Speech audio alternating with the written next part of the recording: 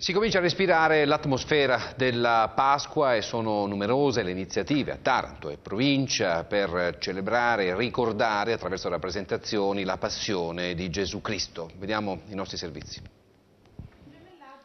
Cinque date, cinque eventi, una fede che attraversa ben cinque secoli e che si rinnova e si rafforza nel tempo. E questa in sintesi la passione vivente di Mottola organizzata in un antichissimo luogo di culto nella Gravina, la chiesa Maria Santissima del Carmelo. Una passione vivente in versione musical, unica in Italia, che ripercorre a tappe il Vangelo. Per la ventesima edizione, quella appunto del 2010, è stato scelto l'episodio della Samaritana. L'evento, che avrà inizio sabato 27 marzo, è stato presentato presso il centro di accoglienza della Croce.